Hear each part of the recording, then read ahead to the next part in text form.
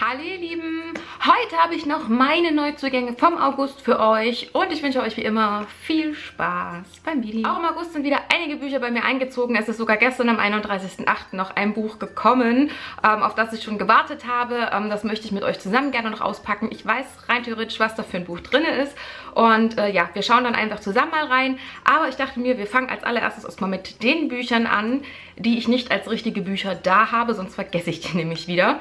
Und ähm, das erste Buch, was bei mir im August eingezogen ist, ich mache mal kurz Platz, dass ich es hier einblenden kann, ist Second Chance von Rose Bloom. Second Chance ist eine Liebesgeschichte, ähm, ich würde sagen so eine alltägliche Liebesgeschichte mit dem typischen Drama. Es ist auch von der Grundstory her eine Geschichte, die man aus anderen Büchern vielleicht auch schon kennt. Es geht um ein reiches Mädchen, was sich in einen armen Jungen verliebt und die beiden dürfen halt nicht zusammen sein. Und es passiert dann in ihrer Vergangenheit etwas ganz, ganz Dramatisches und die beiden trennen sich und treffen sich viele Jahre später wieder und ähm, ja, die Frage in diesem Buch stellt sich, ob die beiden eine zweite Chance bekommen und äh, ich muss sagen, ich fand die Geschichte echt süß. Und äh, wer gerne niedliche Liebesgeschichten liest, sollte sich Second Chance auf jeden Fall mal angucken. Mehr erzähle ich jetzt nicht, sonst wird das hier wieder ein Lesemonat und das wollen wir nicht. Dann ist im August noch bei mir eingezogen Never Let You Go. Das ist der zweite Teil von Never Loved Before von Monica Murphy. Ich habe das Buch gerade an meine Arbeitskollegin ausgeliehen, deswegen habe ich es nicht da. Aber es gehört natürlich in den August mit rein. Und äh, Never Let You Go fand ich sogar noch einen Tacken besser wie den ersten Teil. Und ich muss sagen, dass ich die Geschichte im zweiten Teil rund um Katie und Ethan, wie gesagt, noch ein bisschen besser fand wie im ersten Teil. Aber im Großen und Ganzen kann ich nur sagen, dass es eine ganz, ganz tolle Liebesgeschichte ist. Sie ist ein bisschen verrückt und andersartig, diese Geschichte. Und gerade das hat mir sehr, sehr gut gefallen. Und wer solche Geschichten mag, sollte sich Never Let You Go und Never Loved Before auf jeden Fall angucken. Und, äh, falls euch interessiert, schaut in dem Video dazu einfach nochmal rein. Da erzähle ich dann genaueres. Machen wir weiter mit den nächsten Büchern. Und das sind jetzt alles richtige Bücher. Ähm, fangen wir mit meinem Current Reading an, würde ich sagen. Und zwar ist das das Gold der Krähen, wer mein Neuerscheinungsvideo gesehen hat, ähm, hat das Buch ja schon gesehen. Ich lese das Buch gerade mit der lieben Sina zusammen. Wir sind jetzt schon über die Hälfte, also das Stück hier müssen wir noch. Und ähm, wir haben gesagt, wir versuchen das jetzt über das Wochenende, heute ist Samstag, fertig zu bekommen.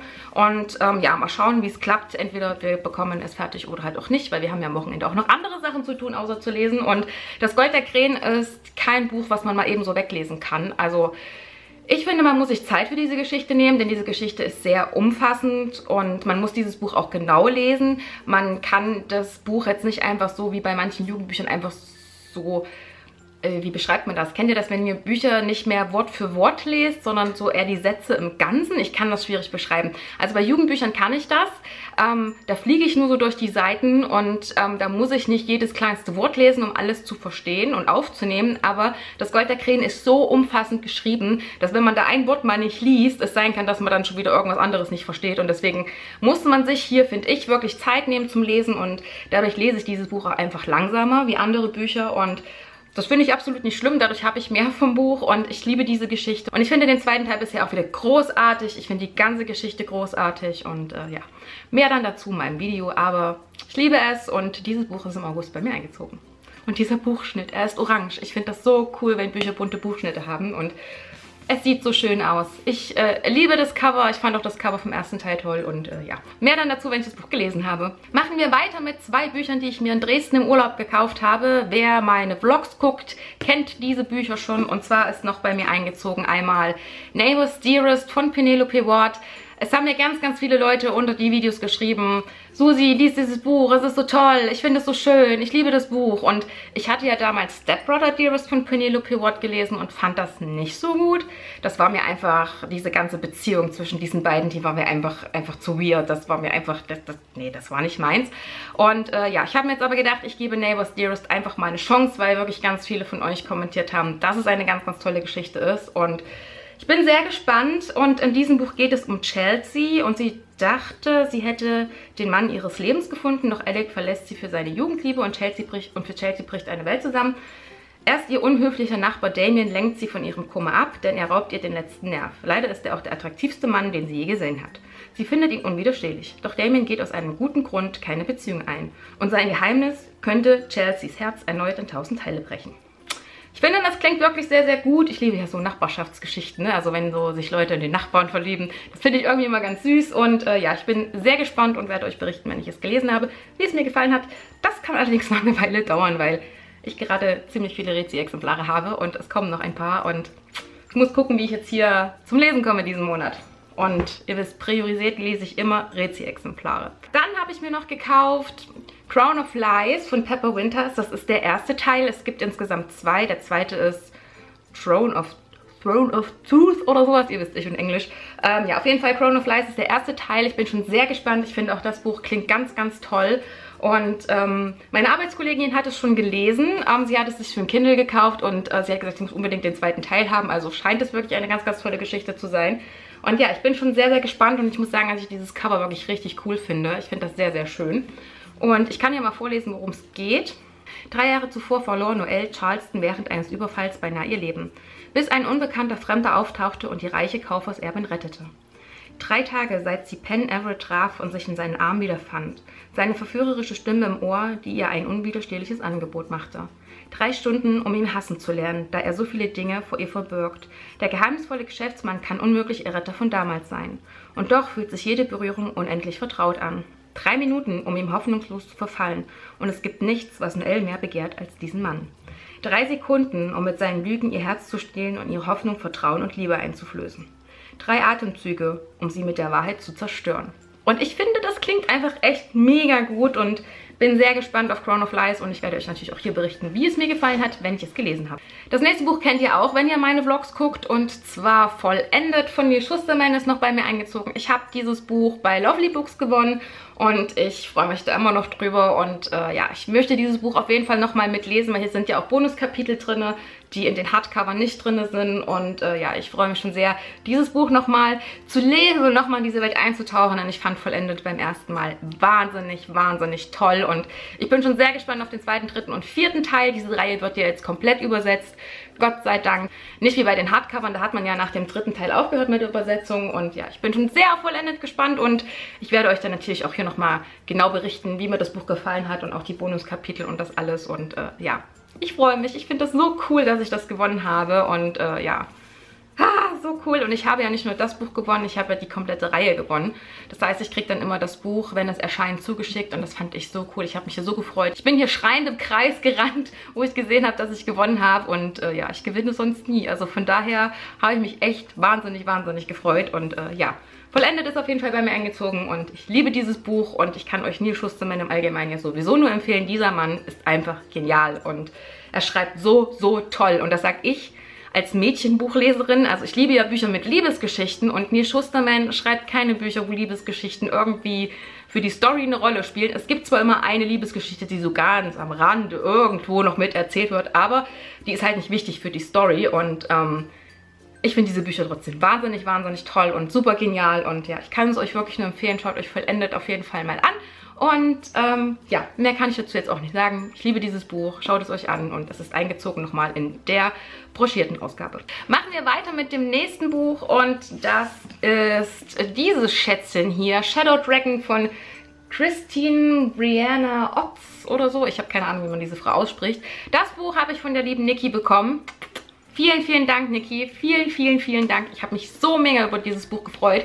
Ähm, Shadow Dragon steht schon seit äh, Erscheinungstermin letztes Jahr bei mir auf der Wunschliste und ich habe nur Gutes über das Buch gehört und ich liebe ja Drachengeschichten. Ich hoffe einfach, dass Shadow Dragon eine Reihe ist, äh, die mir sehr, sehr gut gefällt und ich bin echt gespannt auf das Buch.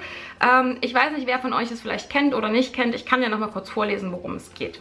Was, wenn du plötzlich das mächtigste Wesen im Kaiserreich verstehst? Was, wenn dich seine Macht immer stärker an ihren Bann zieht? Was, wenn du eine andere sein musst, als du wirklich bist? Was, wenn du Gefühle entwickelst, die du vorher nicht kanntest?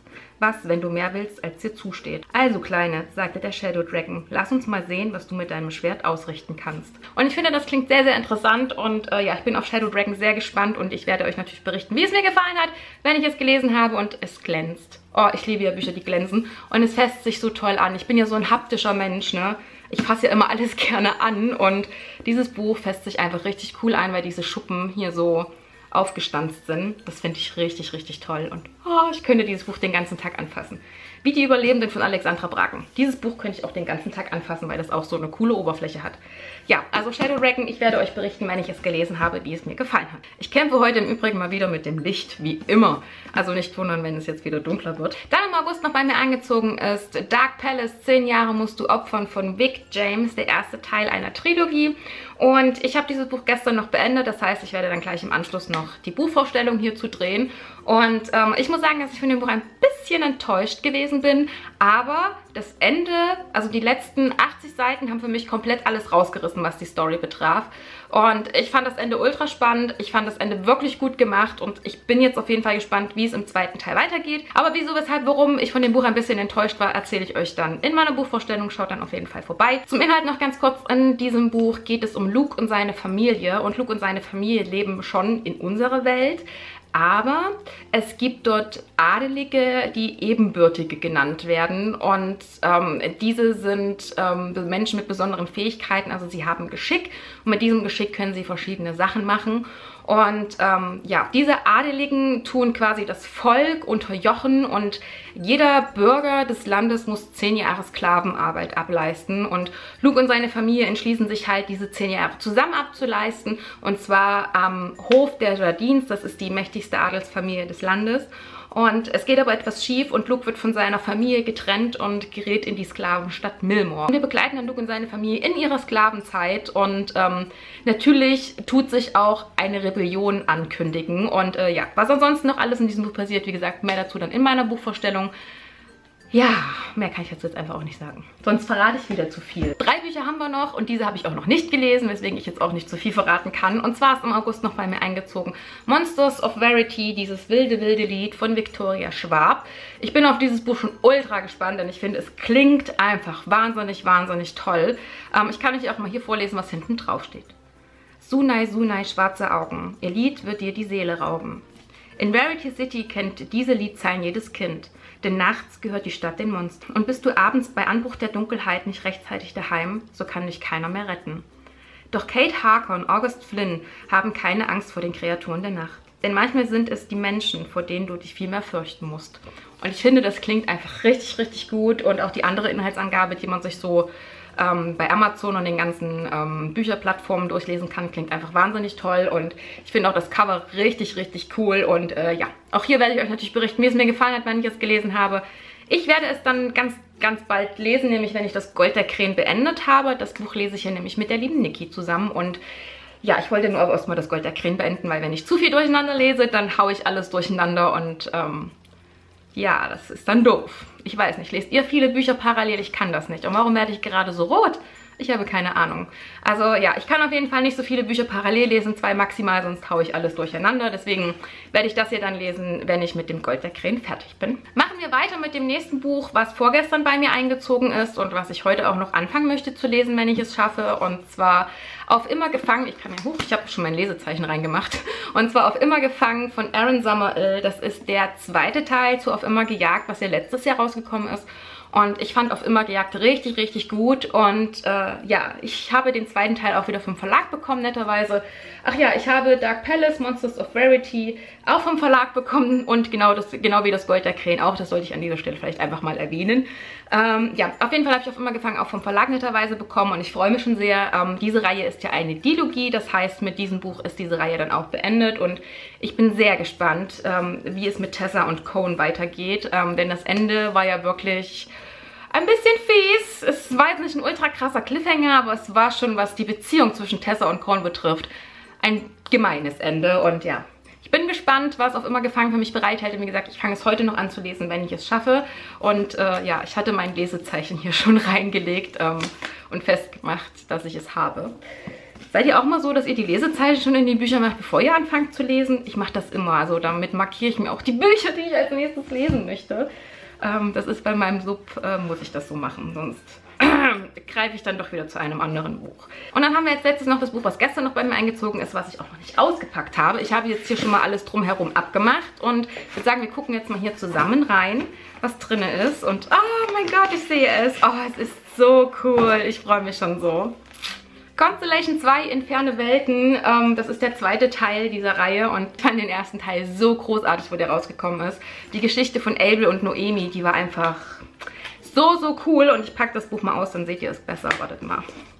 Ah. Dieses Buch erscheint jetzt auf jeden Fall auch mit im September. Genau wie die anderen Rezi-Exemplare, also das Gold der Krähen am 3. September, Monsters of Rarity am 17. Dark Palace ist Ende August schon erschienen und das hier erscheint, glaube ich, am 10. September. Und äh, ja, Constellation, Inferne Welten, wie gesagt, ist der zweite Teil dieser Reihe und es ist eine Science-Fiction-Jugendgeschichte und ich fand dieses Buch einfach so großartig. Es hat sich so super lesen lassen. Es war eine wahnsinnig tolle Welt, die die Autorin hier geschaffen hat und äh, ja, ich freue mich jetzt auf den zweiten Teil und werde euch dann natürlich auch berichten, wie er mir gefallen hat. Ähm, falls ihr keine Jugend-Science-Fiction-Geschichten lest, schaut euch Constellation auf jeden Fall an. Ich freue mich jetzt, den zweiten Teil zu lesen und äh, ja, werde euch dann, wie gesagt, berichten, wie er mir gefallen hat wie bei den anderen Büchern. Das waren meine Neuzugänge vom August. Was ist denn im August bei euch alles so eingezogen? Habt ihr auch wieder so einen relativ hohen Stapel, so wie ich hier zusammengesammelt oder sagt ihr im August ging es mal? Ähm, ich finde ja, der September ist ja, was die Neuerscheinung betrifft, echt heftig. Ähm, wer letzte Woche den Livestream gesehen hat oder das Video dann sich angeguckt hat, weiß, dass ich 25 Bücher rausgesucht habe für den September und das finde ich schon heftig viel. Und der Oktober wird auch nochmal so ein krasser Monat, aber ich glaube, der September war für mich von den Neuerscheinungen schlimmer, weil es einfach mehr war als der Oktober. Naja, wir werden sehen. Oktober ist ja Buchmessemonat und ähm, ich freue mich, denn so wie es aussieht, kann ich nun doch auf die Buchmesse fahren und ähm, es sah ja auch so aus, dass ich nicht fahren konnte, weil Schatzi arbeiten musste und ich den Hund nicht untergekriegt habe. Und so wie es jetzt aussieht, fahre ich mit Schatzi zusammen auf die Messe. Und ich freue mich so, das ist das erste Mal, dass Schatzi mitfährt. Und ich bin so happy und drückt mir die Daumen, dass wir fahren können, dass das klappt. Und ja, ich werde euch dann aber nochmal genau eine Info geben, wenn wir fahren und wann wir fahren und welche Tage wir da sind. Und äh, ja, aber ich muss das jetzt alles noch ein bisschen klären. Und ähm, ja, ihr kriegt dann auf jeden Fall noch ein Update. Und ansonsten beende ich das Video jetzt auch an dieser Stelle. Ich bedanke mich wie immer fürs Gucken, wünsche euch noch eine schöne Woche. Bis zum nächsten Mal. Macht's gut. Tschüss.